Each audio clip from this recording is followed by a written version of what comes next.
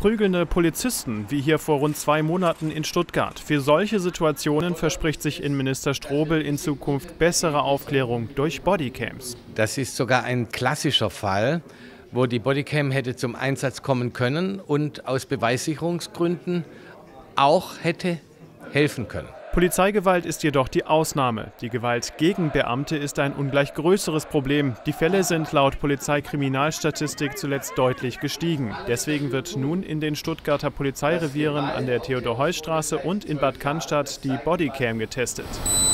Mit dem Geräusch beginnt die Aufnahme. Ein Polizist, der namentlich nicht genannt werden will, hat sie bereits bei einer Verkehrskontrolle angewendet, bei der der Bürger etwas uneinsichtig war mit unserer Kontrolle.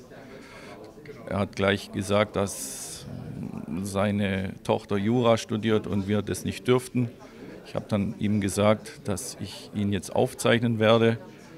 Und nachdem ich das ihm gesagt hatte, hat sich die Verkehrskontrolle relativ entspannt. Beim sechswöchigen Praxistest soll nun das beste Modell ermittelt werden. Eine Sache stört den Minister bereits an den jetzigen Kameras. Meine erste Beobachtung ist die, dass die Knöpfe ein bisschen klein sind, ein bisschen versteckt sind. Ein Polizist steht häufig viele Stunden in der Kälte im Freien.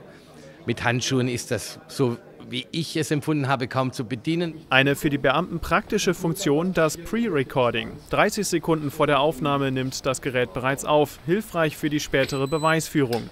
Aufnahmen, auf denen nichts Relevantes geschieht, werden später gelöscht. Zudem wird nur bei Gefahr aufgezeichnet. Im nächsten Jahr sollen nach und nach weitere Polizeireviere die Kamera erhalten. Wie viel das kosten wird, ist noch unklar. Strobel betont mehrmals, dass Sicherheit nun mal Geld koste. Fast schon demonstrativ verkündet er anschließend den Kauf von über 1200 neuen Polizeiautos.